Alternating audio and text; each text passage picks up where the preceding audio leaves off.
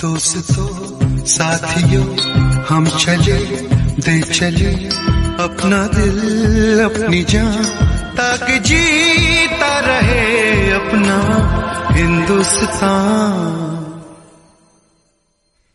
हम जिए, हम मरे इस वतन के लिए, इस चमन के लिए, ताकि